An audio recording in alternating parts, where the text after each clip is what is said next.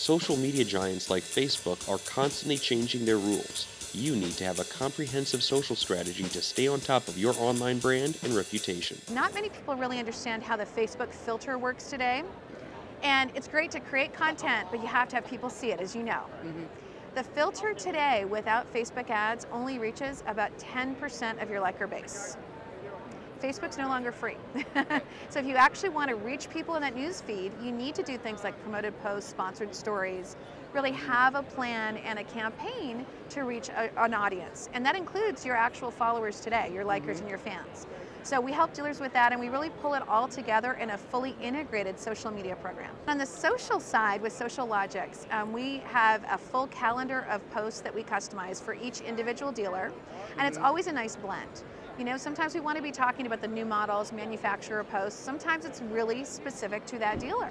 Mm-hmm. You know, it may just be that they're having a customer appreciation, you know, event that night, mm-hmm. or they're recognizing an employee that's been with them 30 years. Right. And it's that blend as well as really regional information and incentives that makes the post really strong and powerful. Mm-hmm. The other thing that we're doing is we're launching Facebook ads. So we've got a number of great Facebook packages, and in fact, Facebook's here in our booth at the show tomorrow, answering questions and and available. But what's great about that is